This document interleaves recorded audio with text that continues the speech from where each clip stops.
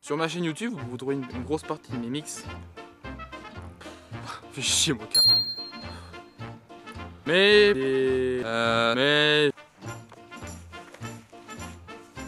Merde. Merde, j'ai foiré. Merde Oh, Merde, c'est quoi ce portable de merde? Le moindre bruit Alors. Moi, je sais. Alors, quand je dis qu'on peut. Et des fréquences complémentaires. Sur mes deux notes de musique, si vous parvenez à isoler les terres pour que je corrige ce qui va ou ce qui ne va pas à la- à l'avenir,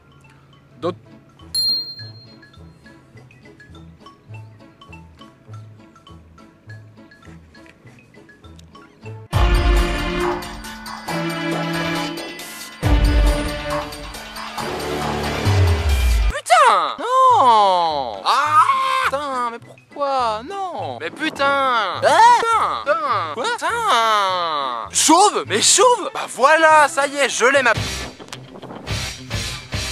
Trouve un endroit foutre ce putain de chewing-gum.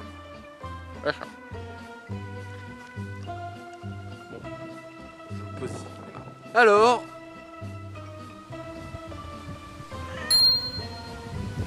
D'ailleurs, lorsque vous sifflez, vous êtes à proprement parler... euh, Pourquoi je bouge ma tête, moi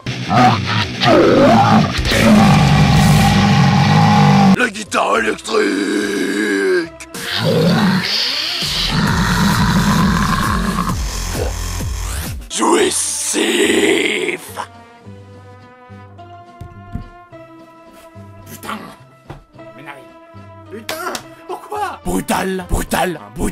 Brutal Brutal Les manufactures. Ouais. Pas,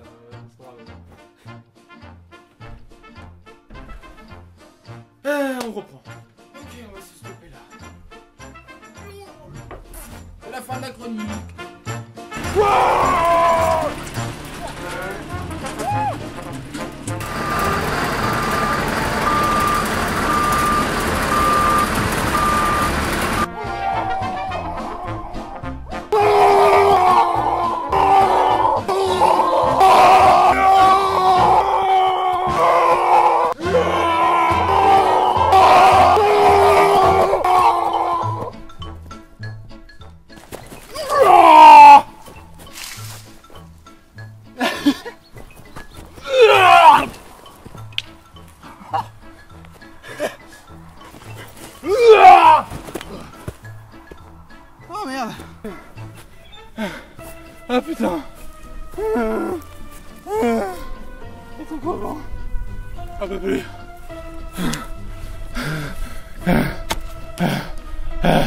Ah putain Se font une idée trop rapide de ces deux. Putain Putain c'est bien.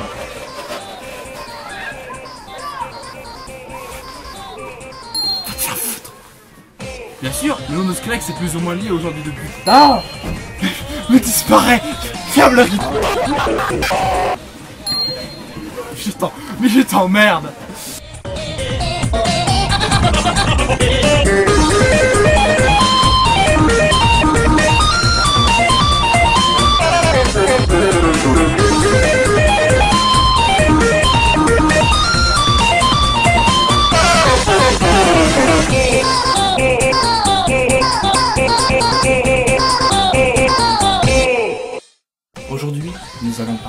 classique de l'épouvante, auteur des plus belles crises d'angoisse des spectateurs des années 70. Je parle évidemment de l'exorciste. Cheat, fais chier. Non, tu viens de ma prise. Je ne pas que ça la crème. Putain, mais ça me casse les couilles, ça. Bordel de putain de merde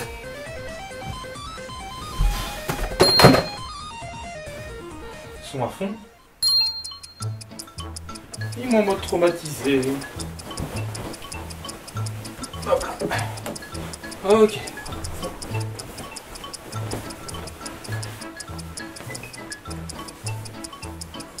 Putain.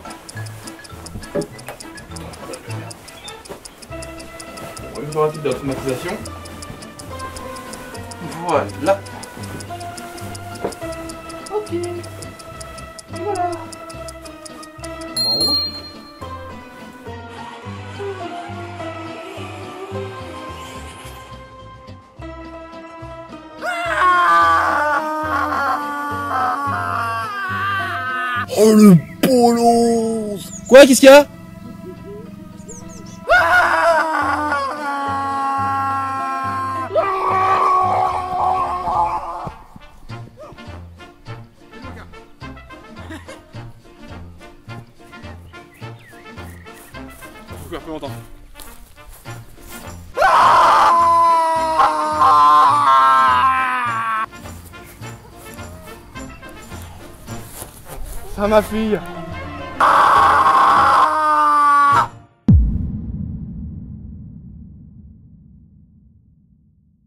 Salut à tous et bienvenue dans cette deuxième partie de la vidéo anniversaire. Donc cette deuxième partie en fait ça va être une FAQ et une petite mise au point sur les différents projets. On va commencer tout de suite par la mise au point.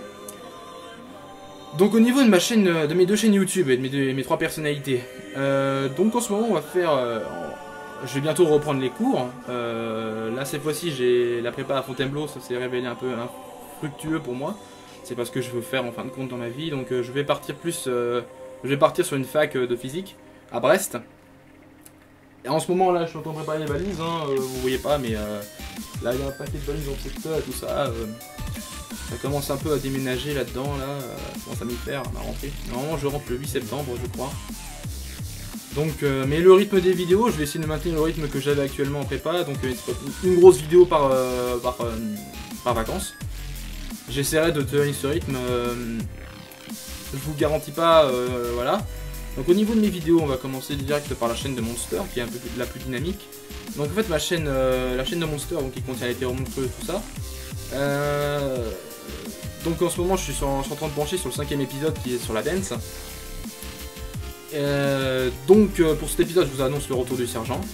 Je ne comptais pas le. Enfin, je pense que je vais trouver un peu plus d'importance dans mes vidéos par la suite. Donc je suis, en train de, me pencher dessus un petit peu. L'écriture est plus simple que pour une chronique de montageois, surtout que celle sur laquelle je, penche en ce moment est un peu longue.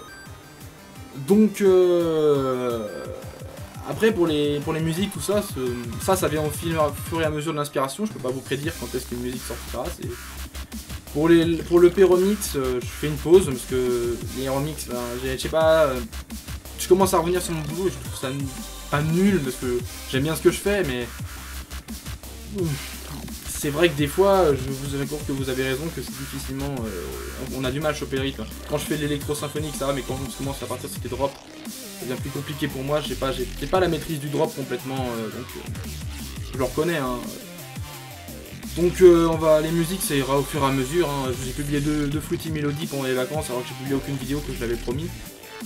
Donc pour revenir sur le chroniqueur Gruber, lui qui me prend beaucoup plus de boulot en fin de compte. Donc comme vous le savez, j'ai une chronique sur Godzilla euh, qui est en préparation, une très grosse chronique, puisque je compte revenir sur toute la saga, toute la saga japonaise et les deux films américains.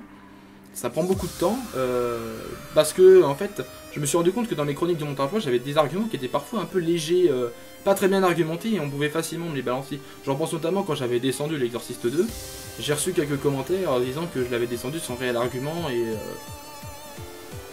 je l'avais descendu parce qu'en fait j'étais déçu par rapport au premier et en, soi oui je l'ai pas aimé hein. et ça ça change pas hein, je l'ai pas aimé mais je l'ai peut-être trop j'ai peut-être craché dessus trop rapidement en disant que c'était une merde tout ça parce qu'il y avait des très bonnes choses dans ce film je l'avais moi-même souligné mais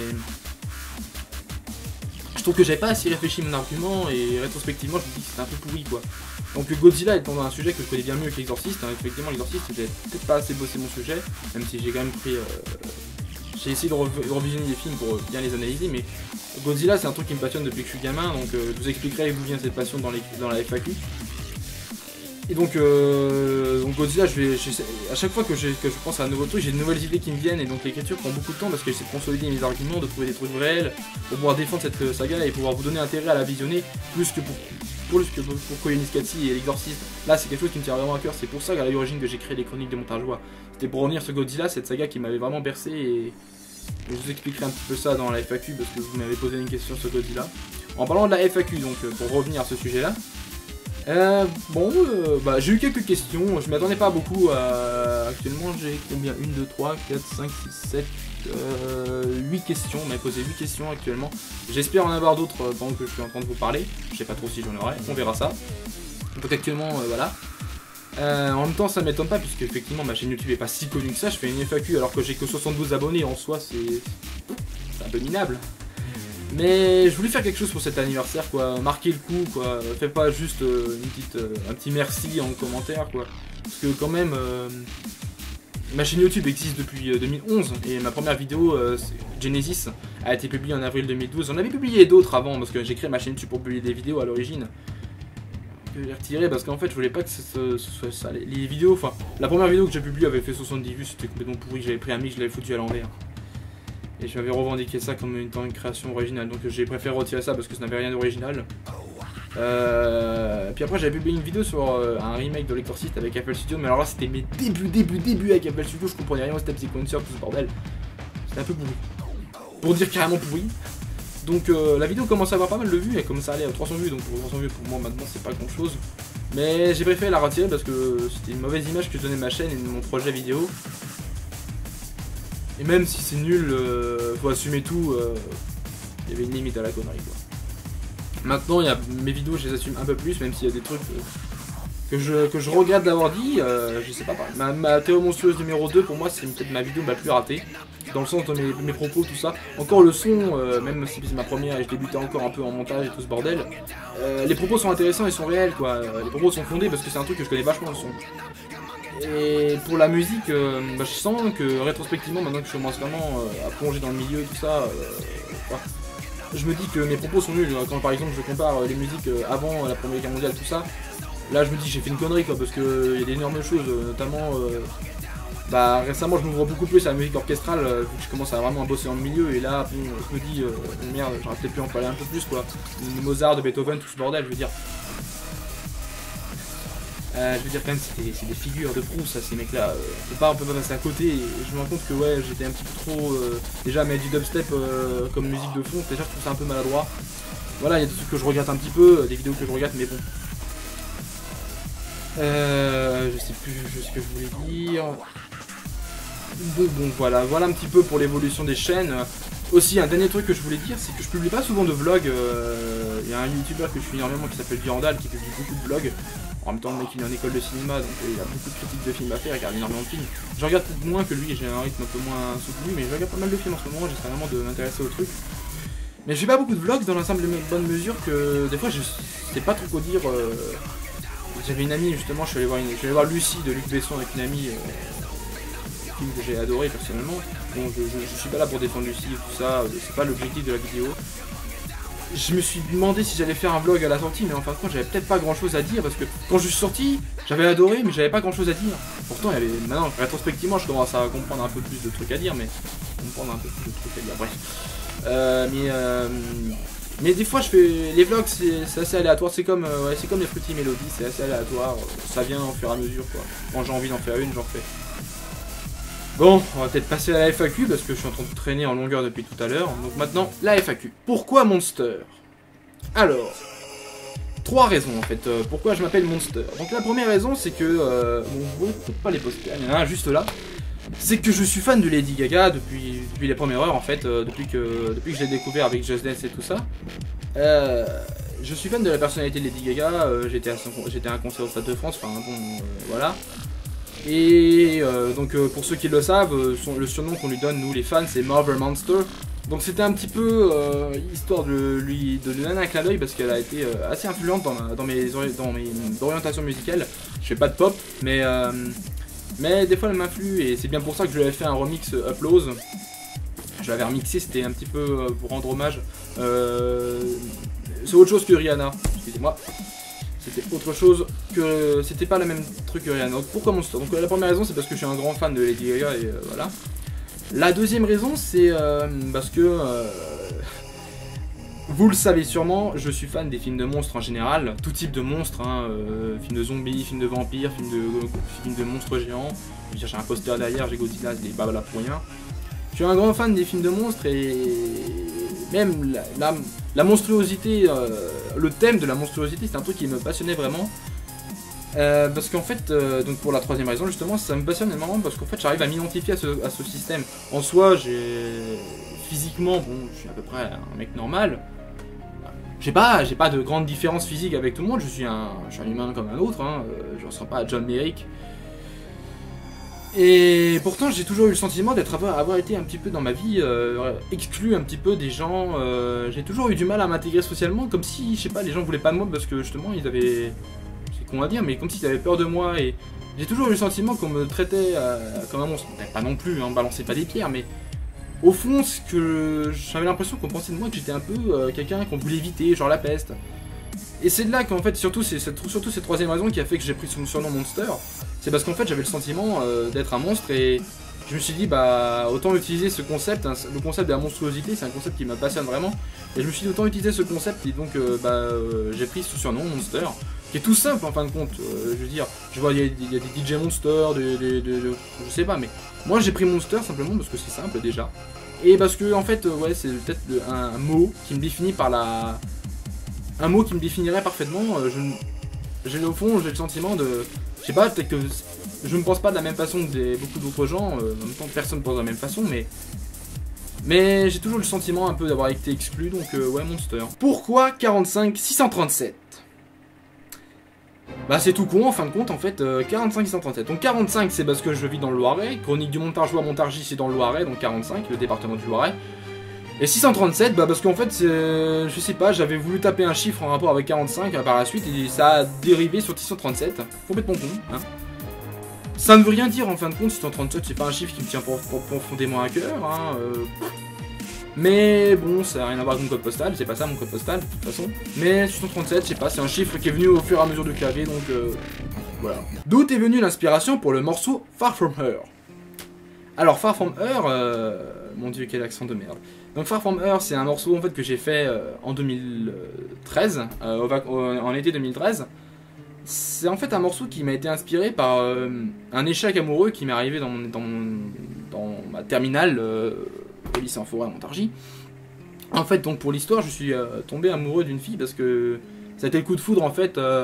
cette fille, elle représentait tous mes idéaux et, c'était, c'était l'idéal que je m'étais fait de la femme parfaite et en fin de compte, peut-être que je m'étais un petit peu emporté, un peu emporté, mais en fait j'étais tombé fou amoureux d'elle. Donc j'avais, euh, le, mon lycée avait un spotted, donc j'ai, publié euh, au conseil des amis, j'ai publié un spotted.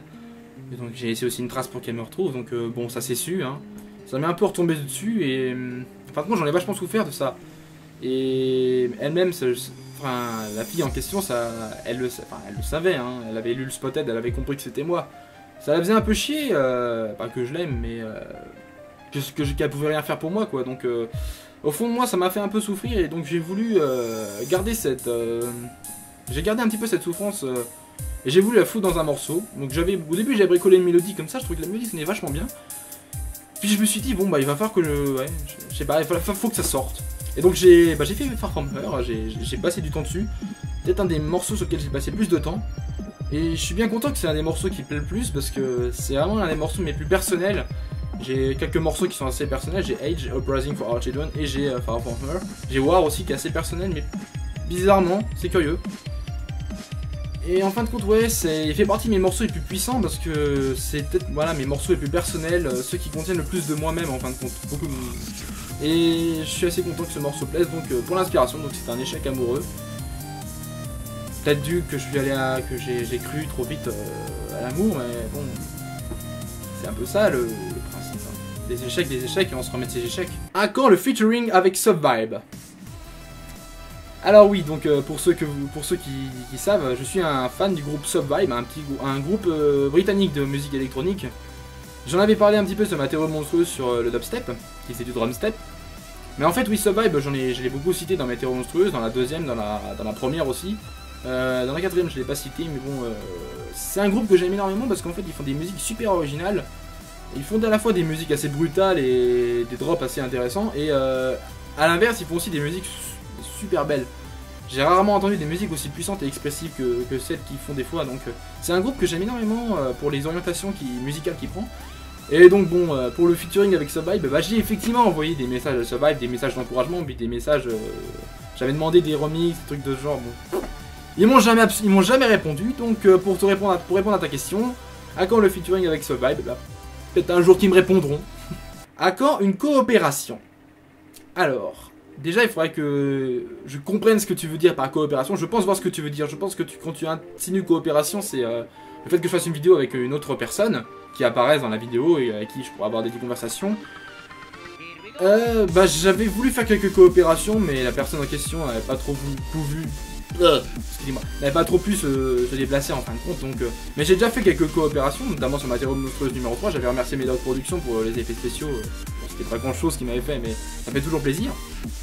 Et euh, donc, si tu veux vraiment une coopération, euh, j'en ai une qui se prépare en ce moment, une vraie.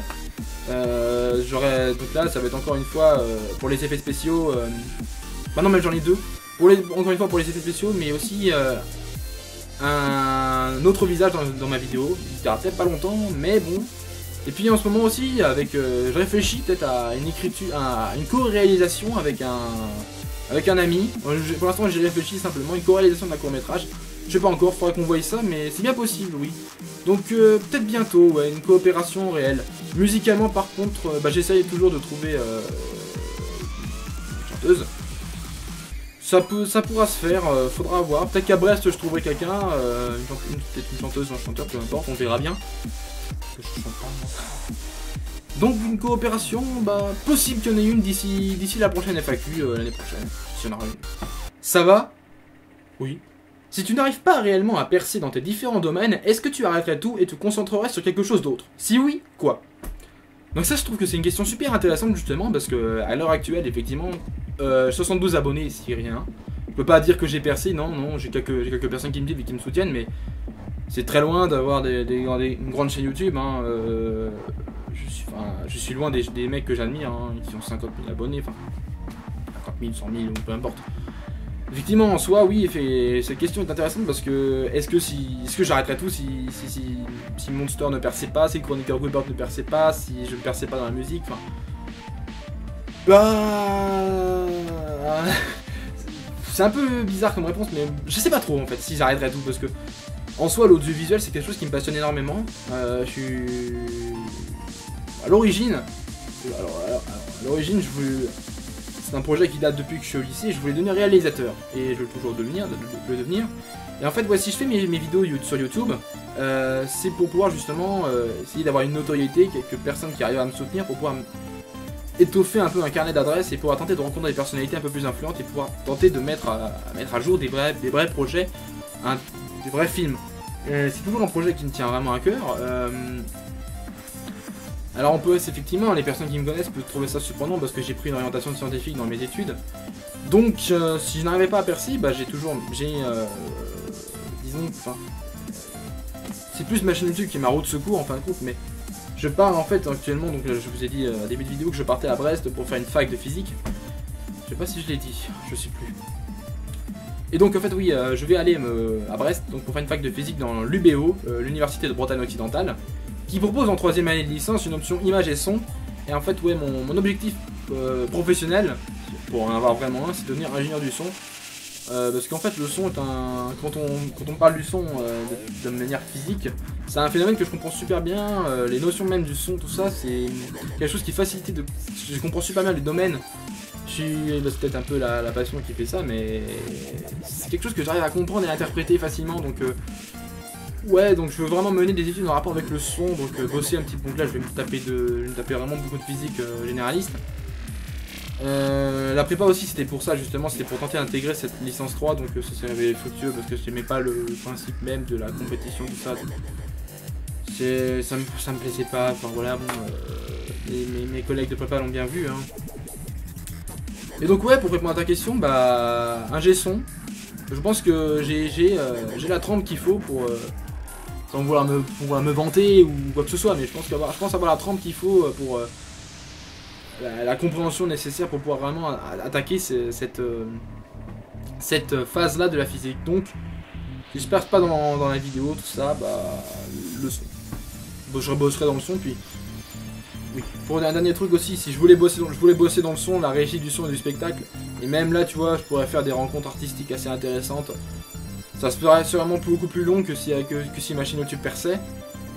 Mais c'est une possibilité que j'écarte pas. Donc en fin de compte, ouais, euh, j'essaie de concentrer mon orientation professionnelle pour pouvoir justement développer mon carnet d'adresse artistique. donc. Mm. Mais après, euh, si moi, si je foire aussi ma, ma fac, euh, bah là, ça va être désespérément euh, emmerdant, quoi. Je sais pas du tout ce que je pourrais faire. Voilà. Pourquoi tu aimes tant Godzilla? Oui, alors oui, vous que si vous me connaissez personnellement, vous savez que je suis un, gros gros fan de Godzilla. limite ça, ouais, enfin Godzilla c'est quelque chose que j'aime énormément. Je vais vous expliquer un petit peu pourquoi. Alors. Pour revenir un petit peu en fait Godzilla, j'ai fait la, j'ai fait la rencontre avec Godzilla. je l'ai rencontré personnellement. pas. J'ai euh, donc la première fois que j'ai entendu le nom de Godzilla, je devais avoir 5 ans. C'est qu'en fait j'ai vu une rediffusion du film de Roland Emmerich à la télé. Je l'avais regardé avec mes parents, tu vois, bon voilà pour, me déconner. Et en fait euh, ça m'a marqué. J'avais été vraiment subjugué par le film. Et Godzilla était un nom qui m'avait absolument marqué. Alors j'avais 5 piges, tu vois. Bon. Mais enfin en même temps, je sais pas si c'est parce que j'avais eu peur du monstre, tout ça, mais je me rappelle toujours de la scène du film d'Emmerich où Godzilla arrive et la gueule et attrape un hélicoptère. Enfin, ça m'avait vraiment marqué ce nom et donc euh, Godzilla est resté dans ma mémoire, le nom de Godzilla. Et après, donc euh, bah, j'ai regardé un petit peu la télé, j'ai regardé beaucoup Détective Conan, puis il y a eu quelques épisodes référence à Godzilla. Et bah, ça m'a un petit peu, un peu, un peu influencé tout ça, donc dans mes, dans mes orientations, euh, tout ça. Après, j'ai commencé à regarder euh, des films, pas beaucoup de films, mais des films, euh, que les films que je regardais, j'ai regardé en boucle, parce que j'aimais bien ça. Et notamment, je me rendais compte que j'aimais énormément les films de monstres. Je pense que Le Seigneur des Anneaux y est pour quelque chose, parce qu'il y a beaucoup, beaucoup de créatures là-dedans. Je pense que c'est est pour quelque chose. J'ai regardé, je sais pas, énormément de fois Le Seigneur des Anneaux. Star Wars aussi, enfin, toutes les créatures comme ça, assez euh, organiques, tout ça, ça m'avait passionné. Donc, en même temps, ça a développé ma passion pour les monstres en général. Et euh, donc, euh, un jour, euh, j'ai- martelé mes parents parce que. Enfin, non, avant ça, pardon. J'ai commencé un petit peu bah, à regarder. des à regarder des extraits différents sur YouTube, des extraits des films Godzilla. C'est là que je me rendais compte qu'il était différent des films de, de Roland Emmerich. Et euh, donc j'ai commencé un petit peu à me familiariser avec cette culture Godzilla, euh, le kaiju en général, mais sans encore avoir vu des films. Puis euh, un jour mes parents ont réussi à retrouver euh, le film de Roland Emmerich dans un, dans un, dans un cinéma. Donc j'ai retrouvé le film, j'ai retrouvé Godzilla et bah ça m'a remarqué. Entre temps aussi, il y avait une autre créature qui m'avait énormément marqué. Je commençais à voir que j'avais une. Enfin, je commençais vraiment à trouver que j'avais une réelle passion pour les, gros monstres. Notamment, c'était euh, le Kraken euh, de Pierre des Caraïbes 2. C'est tout con. Mais c'est une. Enfin, c'est- pour moi, en fait, Pierre des Caraïbes 2, ça reste mon préféré de la saga. Juste pour le Kraken. Parce que le Kraken, il est tellement démentiel dans sa façon, façon d'être filmé, les musiques, euh, les mouvements de caméra, tout ça. Enfin, c'était parfait. Moi, j'étais absolument conquis. Oh Donc le Kraken en fin de compte c'était une créature qui m'a énormément marqué. Euh, longtemps mon, pseudonyme c'était Kraken45. T'as con mais ça a été très très longtemps mon pseudonyme. Avant que je prenne le pseudonyme de Monster.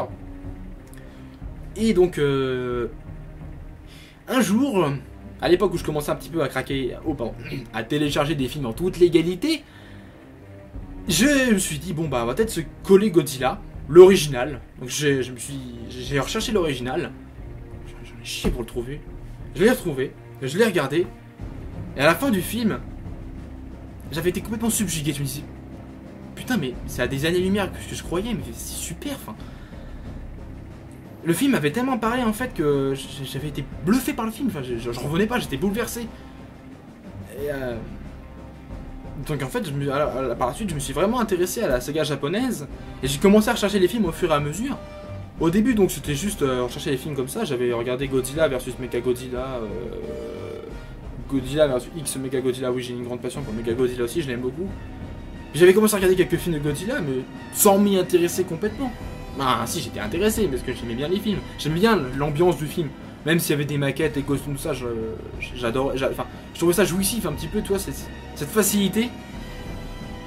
Mais en fait, c'était ouais, c'était un petit peu différent des premiers films parce que le premier film était profond, était sérieux. Et euh, je me suis dit un jour, euh, bah, je vais créer une émission sur internet. euh, après avoir créé la théorie monstrueuse, je me suis dit, bah tiens, je vais essayer vraiment de, de comprendre Godzilla et d'essayer de, de comprendre ce personnage. Et là, vraiment, je me suis, me suis donné pour objectif de me regarder toute la saga, que j'ai réalisé peu à peu. Pour surtout parce qu'en fait j'avais appris le deuxième remake américain. Et après donc j'ai un petit peu euh, j'ai voulu essayer de rester objectif sur la saga. Et donc je me suis regardé aussi plusieurs fois le, nouveau premier à, nou- à nouveau je me suis regardé le premier film. Et à chaque fois que je regardais l'impact que, que le film avait sur moi grandissait. J'étais de plus en plus touché par le film euh, et notamment la scène finale au point que j'en arrivais à pleurer à la scène finale. Moi je, je, je, je- pleurais à la scène finale, littéralement. J'ai éclaté en sanglots à la fin, j'avais- les larmes aux yeux, enfin, je, pleurais quoi. Il y, avait un, il y a un seul film qui arrive à me faire ça autant de fois, c'est Heartless, qui est mon film préféré. Et en fait, ouais, c'est c'est que Godzilla, euh, c'est un truc que, il y a un truc que j'ai retrouvé dans Godzilla que j'adore dans les films, c'est le réalisme. Alors vous allez me dire oui, non, non, non, d'accord, on est parfaitement d'accord que les costumes sont pas réalistes du tout. C'est pas le sujet. Ce qui est réaliste dans Godzilla, c'est justement l'impact humain, le drame humain en lui-même. C'est que c'est une, tellement bonne manière de, refléter euh, le drame de la guerre et des bombes atomiques euh, au Japon. Le Japon qui a été un pays un peu oublié, quoi. Euh, si on s'en tient à nos cours d'histoire, en fin de compte, le Japon, on vous a dit quoi? Le Japon, on nous a dit, on nous a enseigné que on nous a enseigné que c'était des connards qui, qui, avaient envahi euh, Pearl Harbor. On est un petit peu sous influence de la culture américaine, le soft power américain, c'est quelque chose que je connais bien. Je suis un petit peu anti-américain. J'aime pas trop, j'aime pas trop l'état d'esprit des USA. Et le Japon, en fait, c'est un petit peu moi, c'était un petit peu les, grands oubliés de la Seconde Guerre mondiale parce que, enfin, c'est pas bon, c'est un petit peu faux ce que je vais dire, mais on nous a toujours enseigné que les Japonais étaient des gros cons qui avaient attaqué les États-Unis, tout ça, euh, qui faisaient des qui faisaient des massacres. euh, qui faisaient des massacres dans, les pays chinois, tout ça, et en soi, oui, bien sûr qu'ils le faisaient, c'est pas, ah, je nie pas, je pas le contraire, mais le truc c'est que les bombes atomiques, euh, pour moi, c'est peut-être le truc le plus dégueulasse qu'on ait jamais fait au Japon, quoi. Enfin, qu'on- non, pas, au Japon, c'est le truc le plus dégueulasse qu'on ait jamais fait. Enfin, pour moi, c'est quelque chose d'horrible, les bombes atomiques. Et la guerre au Japon, parce qu'on a fait subir au Japon, c'était dégueulasse quand on les a bombardés sans cesse. euh, on a ruiné les, Le peuple avait jamais rien demandé, hein, le peuple. L'empereur, euh, l'empereur c'était une dynastie, on n'a jamais voulu élire l'empereur. Alors ils se sont pas rebellés parce que c'était leur culture, ils avaient la culture de l'honneur et du respect. Ils sont pas appris à se rebeller, c'était de l'endoctrinement, ils étaient complètement endoctrinés. Je veux dire, ils se sont pas rebellés non plus en Allemagne nazie. Enfin, il y a eu une, résistance, bien entendu, mais ils ont été endoctrinés et ils se sont tout pris sur la gueule au point qu'ils se sont pris l'arme la plus destructrice de l'humanité. Ils ont été le seul peuple à subir le feu atomique. je crois que j'ai complètement perdu l'objectif de cette euh, question, mais et en fait, pour revenir à Godzilla, en fait, euh, je trouvais justement que c'était plus intéressant qu'un film de guerre, le fait d'imager cette, euh, cette, euh, cette détresse euh, du, Japon, euh, du Japon, du Japon de la Seconde Guerre mondiale, c'était véritablement, enfin, ça a été le grand témoignage du Japon. Et justement, peut-être un truc qui m'a justement encore plus motivé à m'intéresser à Godzilla, c'est que c'est un film japonais, donc il n'est pas soumis au code de, l'hollywoodisme américain, et que justement les Américains, eux, ils avaient, bah, ils avaient eu, avaient une- un truc que j'ai, ils avaient fait un truc que j'ai haï, mais vraiment détesté au point euh, vraiment de, ça m'a un petit peu conforté dans mes idées que les Américains étaient un peu des cons, et je le pense pas. C'est qu'en fait, donc les Américains, ils avaient remonté le Godzilla pour limiter l'impact que le film avait euh, sur de dénonciation des Américains. Truc que je trouve mais genre mais mais super hypocrite quoi. C'est genre on n'avoue pas qu'on a fait ça quoi. Et bah en fait dans la culture, que je reprends, en fait, justement c'est que ce film en plus s'adressait énormément à moi parce que j'avais le sentiment que le film était super réaliste dans son traitement quoi. Et dans le drame humain qui était qui était vachement exprimé. J'aime les films qui sont assez réalistes, euh, soit réalistes dans leur traitement, notamment j'adore Cloverfield. Cloverfield est un film que, que j'adore vraiment énormément. Qui d'ailleurs est un film de, Kaiju. Kaiju, pour, pour ceux qui savent pas, c'est des films de, grands, de, gros, de grosses bébêtes. J'aime j'aime beaucoup Pacific Rim aussi. Hein, euh, Mais ouais, Cloverfield, j'avais énormément aimé parce que justement le film se veut réaliste. Le film se veut. Qu'est-ce qu'on ferait dans cette situation euh, Est-ce qu'on. Un grand monstre attaquerait une ville Qu'est-ce qu'on ferait? Et Outlast, c'est un film extrêmement réaliste, et effectivement aussi sur le drame humain, c'est... Ce film me parle tellement que... Enfin, ce film, voilà. Et Godzilla, c'était un film extrêmement réaliste sur le drame humain, peut-être pas dans son traitement, dans, la mise en scène, ça, mais c'était super réaliste dans le drame et dans l'expression de toute la détresse que le, que le peuple japonais a subi par la bombe atomique. Et c'est vrai que quand on dit aujourd'hui que Godzilla, le roi des monstres, euh, quand on fait un film de monstres, euh, on peut pas... un film de, de kaiju, on peut pas euh, ne pas se référer à Godzilla, en fin de compte, il devient incontournable dans le film de monstres. Pacific Rim rendait énormément hommage à Godzilla, Cloverfield a rendu un hommage indirect à Godzilla, même si le film se revendique de King Kong, hein, l'imagerie, du film, tout ça, c'est Godzilla. c'est un film qui est tellement ancré dans notre culture populaire et ça me fait vraiment plaisir qu'un tel film existe, quoi. C'est un film qui me parle et voilà. Donc pourquoi j'aime tant Godzilla? Bah Parce qu'en fait ça me parle tellement que, que, je peux que aimer quoi. C'est, un truc qui me parle à moi, à mon caractère. Putain j'ai passé 10 minutes à parler de Godzilla. voilà c'est pour ça que je vais faire une chronique d'une heure et demie quoi. C'est- Voilà. Bon. Donc c'est tout pour cette FAQ, on va enfin avoir pour en terminer. Donc pour conclure cette vidéo anniversaire, euh, anniversaire de, podcast, euh, de podcasteur que je suis devenu, euh, eh bien on va Euh, Qu'est-ce que je veux dire? Je vous ai prévu une dernière surprise pour terminer cette vidéo. La vidéo va être super longue, putain. Donc une dernière surprise euh, pour terminer cet anniversaire. Et euh, donc je vous remercie tous, mes chers 72, ab- mes chers 72 abonnés, euh, de me suivre, de me soutenir. Parce que bon, vous, vous mine de rien, euh, vous me soutenez. Euh, vous rendez un petit peu ces, projets possibles. Vous me donnez une petite motivation euh, le matin en me disant bon voilà, faut que je fasse ma vidéo. Euh, Mais je suis motivé parce que je, tenais à vous remercier. Donc pour vous remercier, bah, je vous ai prévu une dernière surprise. Et sur ce, bah, je vous dis à bientôt pour le prochain épisode de la théorie monstrueuse. À bientôt pour ma chronique sur Godzilla. Puis à bientôt. Je vous aime tous.